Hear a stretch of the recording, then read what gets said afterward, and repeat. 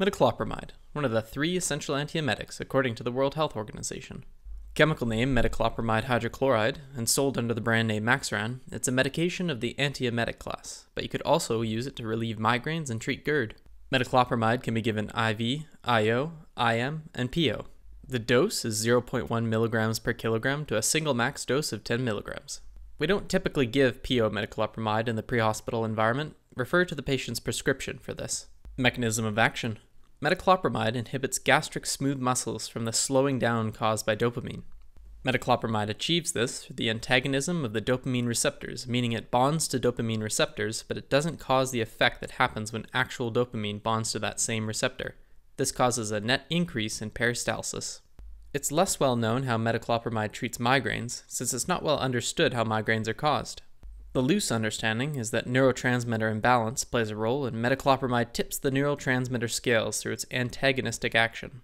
Metoclopramide is also documented as having 5-HT agonist effects, a receptor that is believed to play a role in migraine pathophysiology. Duration IV onset 1 to 3 minutes, IM onset 10 to 15 minutes, PO onset 30 to 60 minutes, and all routes last about 1 to 2 hours. Contraindications Known intolerance to metoclopramide, such as allergies or other hypersensitivity that would cause greater harm than benefit. Situations where gastrointestinal motility would cause problems. Obstruction and perforation are good examples of this. Increasing gastric motility in an obstructed intestinal passage risks making the obstruction worse, and in perforation, waste might end up escaping the intestine into the abdominal cavity. Also, if the patient has overdosed orally, you'd just be moving the problem deeper down the intestinal tract.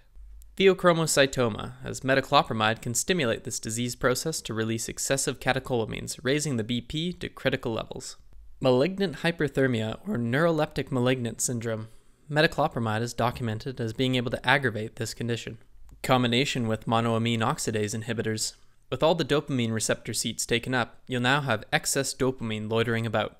No problem, the enzyme monoamine oxidase will clean these up, unless it's been inhibited by an MAOI, Without monoamine oxidase, you'll have all these monoamines stirring up some vasoconstriction, which can catapult the BP to dangerous levels.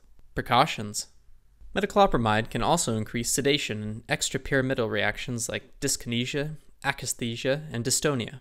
Typically a result of higher doses and long term use, you can still cause this reaction in the pre hospital environment if your drug administration is too rapid. Check out your local protocols or medical direction for the ability to reverse these symptoms with the use of diphenhydramine. Interested in more paramedic FOAMed videos? Check out our website at paramedicresource.ca. Thanks very much for watching.